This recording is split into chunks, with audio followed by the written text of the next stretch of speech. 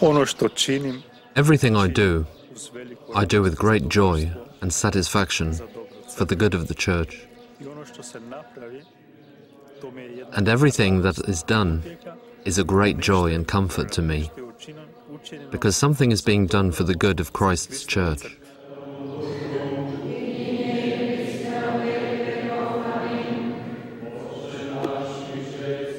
Uvijek sam se ovaj I like to think about Saint Leopold Mandić, a man who, like me, came from a mixed background where there were Orthodox, Catholics, and Muslims. His words really made an impression on me when he said, Well, I'm back. I've returned in obedience to my superiors, but in the confessional, I will do everything I can for the unity of the Christians. I don't think any differently, because we too are in a mixed region of Catholics, Orthodox, and Muslims. So I took the motto for myself that we may be all one. Ut unum sint. ut unum sint.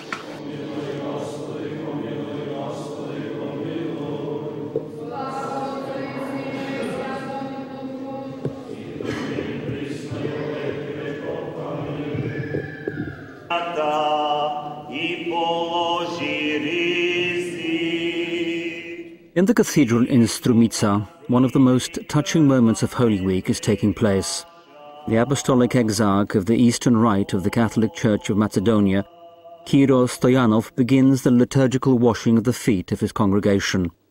The symbolic value of this act, together with the bishop's energy and charisma, are the main stimulations to this small Catholic community.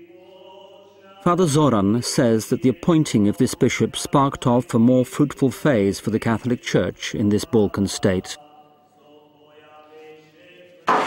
94. otkad je on došao ovdje u Makedoniji kao svećenik, In 1994, when he came here to Macedonia as a priest, that's when all these activities that we are talking about today began. That's when the priests started to meet together, then young priests started to come along. Even as an auxiliary bishop, he used to dedicate a lot of time to candidates for the priesthood, as well as already ordained priests.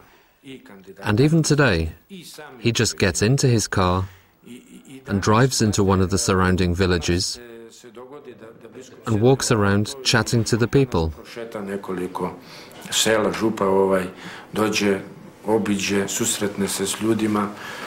Znači, on je i po godinama postoji. At 40, he became a bishop, and even at that young age, he convinces the people with his charisma and his simplicity that their bishop is very close to them. Da, da ljude It's important to mention here, too, that he is the first member of the Macedonian people to partake in the Episcopal Assembly of the Catholic Church in over 104 years. u, u zboru biskupa katoličke crkve nakon 104 godine.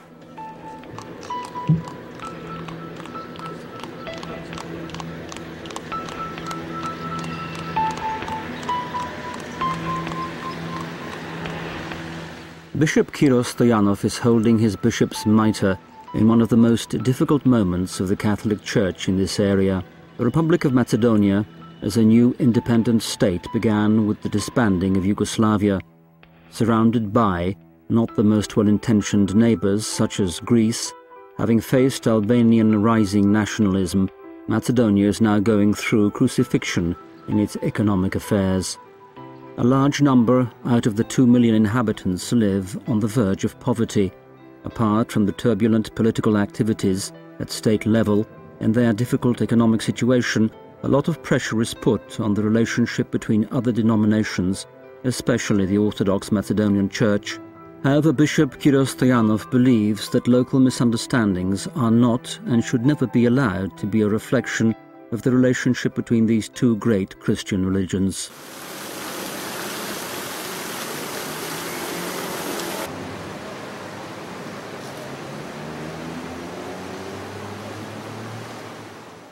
Ima nekih eh, lokalnih nesporazumijevanja. Sometimes there are some local misunderstandings, such as the one in Sekirnik. poput sekirnika kojega smo imali, Maybe the solving of that problem dragged on for too long. However, most sincerely, I can say that even there, we found a common ground. We solved it together with the cooperation of the Macedonian Orthodox Church. They were slightly against us building the church on the site that the previous one was burnt down on. At one stage, a Catholic and an Orthodox one stood together on that site. Our church was destroyed by one individual, an enemy who hated the Catholic Church.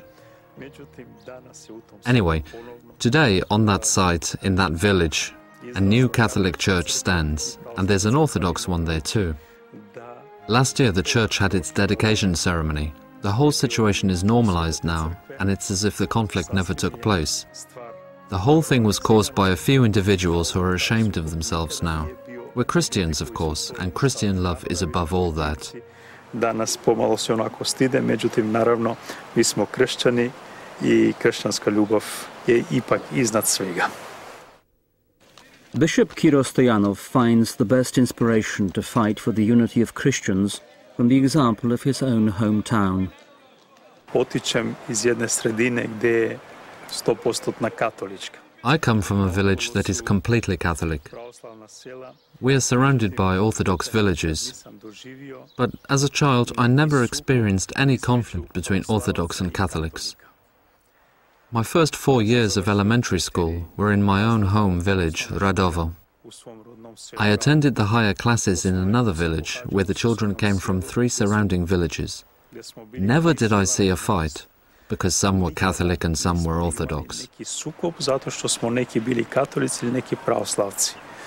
Čak kao dete sjećam se da su mnogi pravoslavci As a child, I can remember that some of the Orthodox even came to our church, every week, not only for Mass, but also to baptize their children. They partook in the devotions together with us. So, as a child, I experienced ecumenism among us.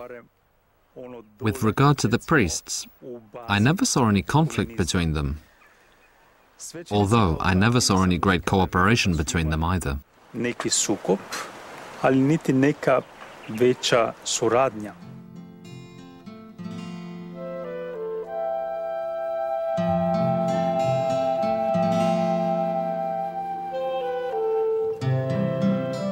The bishop's invitation to unity and mutual ecumenist initiatives wasn't without response. In the little town of Ohrid, the cradle of Christianity in these parts, the Catholic and Orthodox churches try to follow the ecumenist incentive by embarking on joint ventures in projects that are important for the whole community. One such project is founding a daycare centre for children who suffer from cerebral palsy. It takes place in the parish of St. George, but the financing and organisation is the work of Father Stjepan Kushan from the local Catholic parish. Father Dima has very positive reports about this project of ecumenical participation.